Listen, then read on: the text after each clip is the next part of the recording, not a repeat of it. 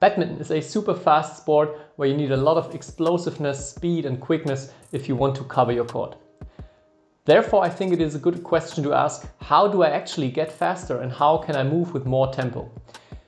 Speed itself has many different dimensions, so there are also many different answers to that. And in this video, I want to show you three ways how you can actually improve your tempo on court. And no matter if you're just starting out, if you're on an intermediate level, or if you're already going up towards the pros. First of all, I want to start out right away with maybe the one that can have the biggest impact on your speed, and that is your footwork technique on court. Many players are slow on court not so much because they are lacking power, but because the power that they are using goes into the wrong direction and they are not moving efficient on court.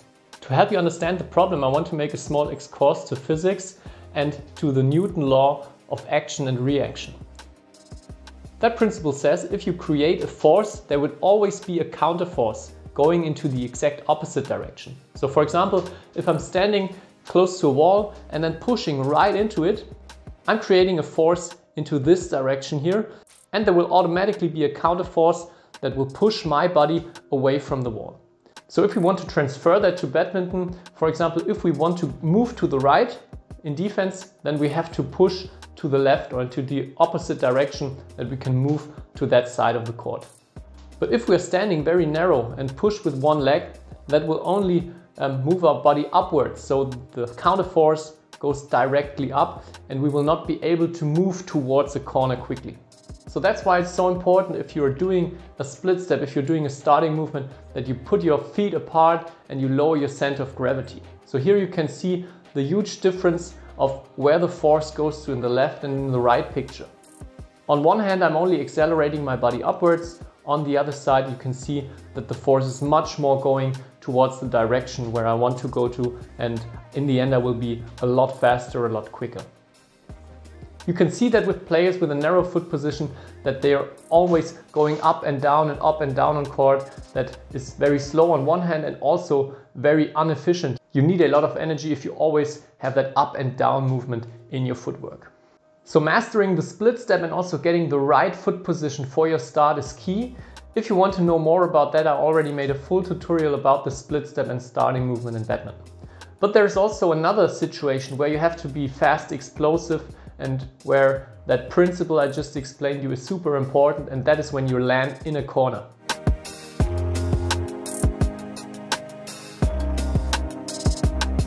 After hitting the shuttle, you want to get out of the corner quickly and you want to recover fast so you're ready for the next one.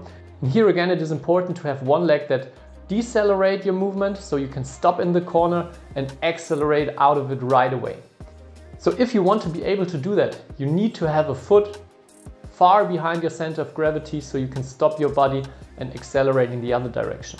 But many players tend to have their landing foot more under their body, so they're not able to stop. Sometimes they even need to do some extra steps after the landing and they cannot push out right of the corner. So here in the rear court, it is important to bring one back far behind your body to push out of the corner right away after your landing. In the front court, it is also important to make a lunge that allows you to push out of the corner as fast as you can.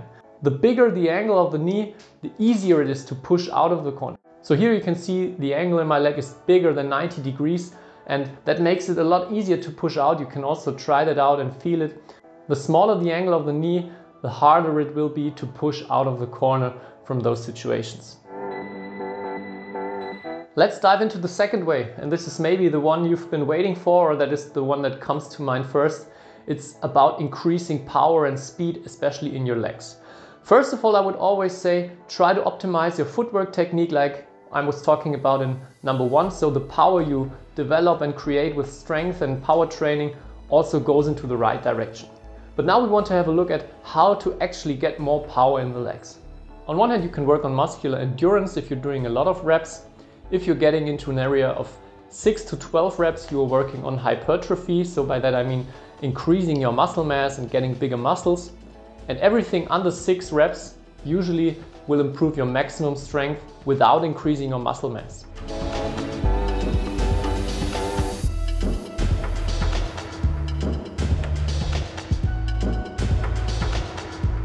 In that rep range, we can differentiate between maximum strength training. So there you're using 80 to 100% of your maximum weight. So a really heavy load.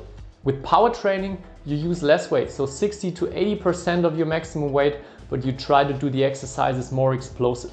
With those training methods, we're not going to increase our muscle mass so dramatically, but we will get a lot better in activating all the muscle fibers we have and therefore get more power, get more strength without increasing the mass.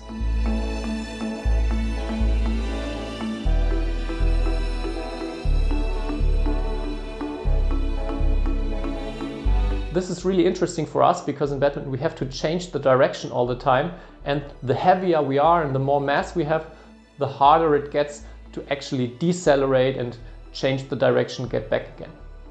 In my eyes, the most interesting number here is not the maximum strength, so how much weight you can, for example, lift with a squat or with a deadlift, but what is your relative strength. So you put the weight into relation with your body weight.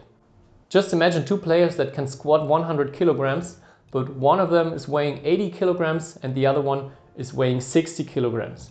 The lighter player will be able to move a lot faster because in relation to his body weight he can move a lot more and he will probably be a lot more explosive and being able to change direction a lot faster. Besides the classic strength training there's also something that can help you to increase your speed and that is plyometric training. You can basically say that plyometrics are small jumps with a very short and reactive landing. Those jumps will basically increase the stiffness of your tendons. And that may sound not what you actually want, getting more stiff, but that stiffness in the tendons will help you to transfer the power that you create with your muscles a lot faster to the ground. So it is a common way to also combine power training and plyometrics. So for example, you are doing um, squats with around 60% of your maximum weight, do them very explosively and afterwards do a short sprint or these rebound jumps that you can see here. You can also do it already in a very badminton specific way. So you do a drop jump from a small height and then right away into a fast footwork pattern like you can see here strength and power training needs a certain degree of experience. You need a proper technique for the exercises. So if you're new to it and if you want to dive into it, find yourself a coach that will help you and guide you through the different steps. But in the end, if you can work on that area, you will also feel that the power will increase and you will be able to move faster on court.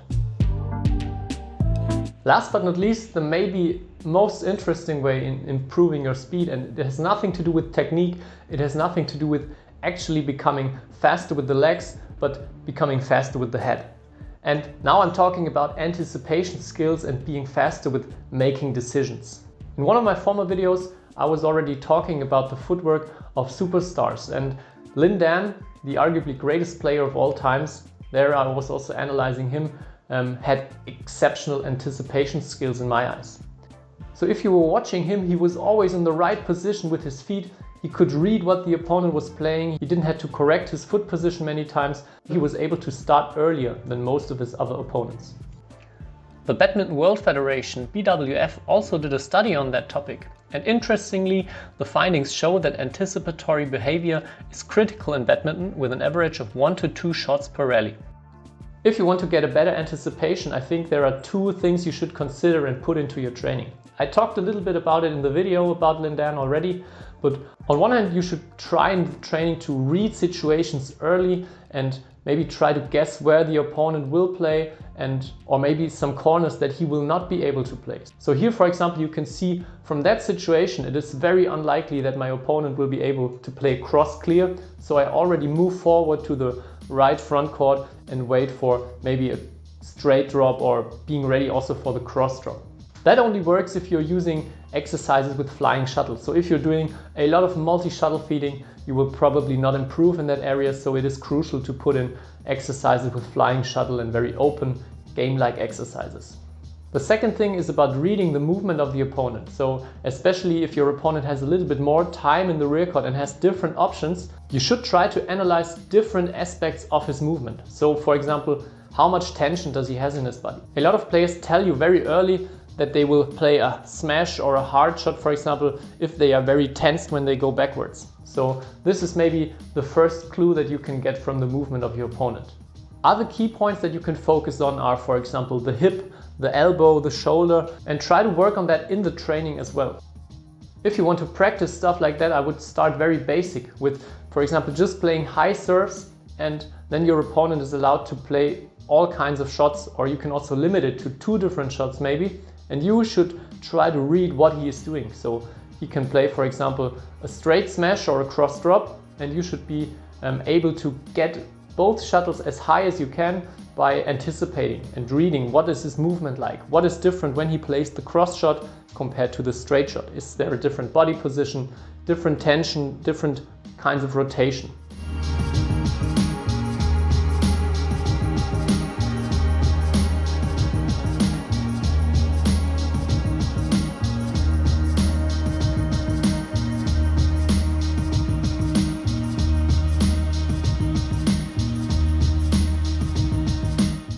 Of course, this is something that takes time and you will be also guessing wrong many, many times. But every time that you guess wrong, that will bring you one step closer of getting better anticipation skills. And you will see in the long run that will make a huge difference against opponents that are worse in that area. So even without being faster on your legs, you will be a lot faster than your opponent when you can just start a little bit earlier and have the better foot position to start where the shuttle will go to.